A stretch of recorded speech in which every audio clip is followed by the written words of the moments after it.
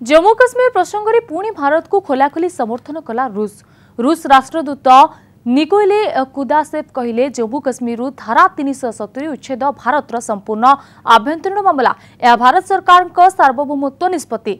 सिमला लाहोर राजनामा सहायतले पाकिस्तान भारत मध्य समस्त समस्याराधानो भारत अवस्थापित रुष दूतावास र उपप्रमुख रोमोन बाबुसकिङ ଯେପର୍ଯ୍ୟନ୍ତ ଦୁଇ ଦେଶ ମଧ୍ୟସ୍ଥତା କରିବାକୁ ଉଭୟ କହିନାହାନ୍ତି ସେ ପର୍ଯ୍ୟନ୍ତ ଭାରତ ପାକିସ୍ତାନ ଭିତରେ ଥିବା ବିବାଦରେ ରୁଷର କୌଣସି ବି ଭୂମିକା ନାହିଁ ସେଥିପାଇଁ ଜାତିସଂଘର ବନ୍ଦ ବୈଠକରେ ଏହି ପ୍ରସଙ୍ଗକୁ ଭାରତର ଆଭ୍ୟନ୍ତରୀଣ ମାମଲା ରୁଷ କହିଥିଲା ବୋଲି ସେ କହିଛନ୍ତି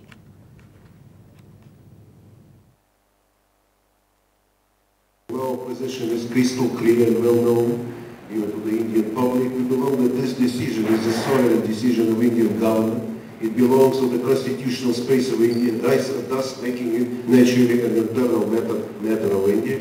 And naturally, we would prefer all the issues existing between India and Pakistan to be resolved through dialogue on the basis of, Shim, of Shimla Agreement and Lahore Declaration. If you would compare it to the relevant Indian position, my feeling is that you would that you would come to the conclusion that, uh, that our positions are almost 100% identical.